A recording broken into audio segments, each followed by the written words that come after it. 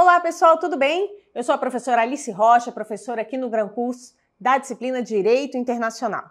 E hoje vamos para uma dica sobre uma das medidas de saída compulsória do estrangeiro que a sua banca mais gosta de cobrar nos exames da OAB. Vamos falar hoje de expulsão. E por que, que ela gosta tanto de cobrar isso, professora? Porque é uma das medidas que sofreu mais alterações com a Lei 13.445. Portanto, para sua prova, você vai levar duas informações sobre expulsão.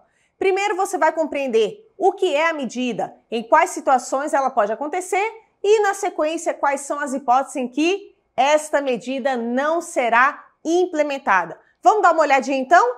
Veja, primeira coisa, o que é a medida?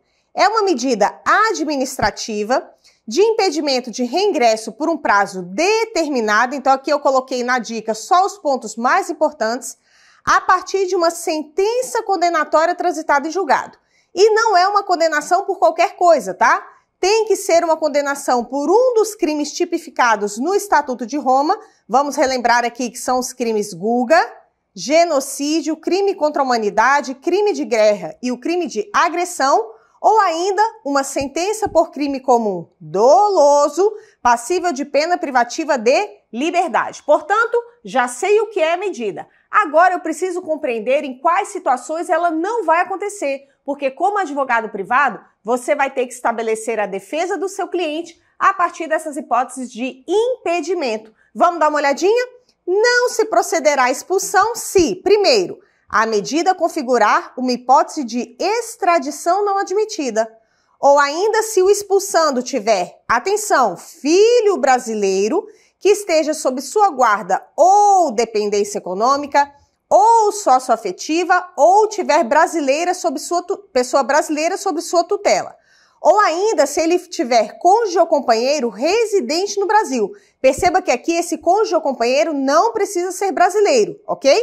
Ou ainda se ele tiver ingressado no país antes de completar 12 anos de idade e reside aqui desde então, ou ele tem mais de 70 anos e mora no Brasil há mais de 10 anos, fazendo ali aquela remissão né, indireta ao Estatuto da Criança e do Adolescente e ao Estatuto do Idoso.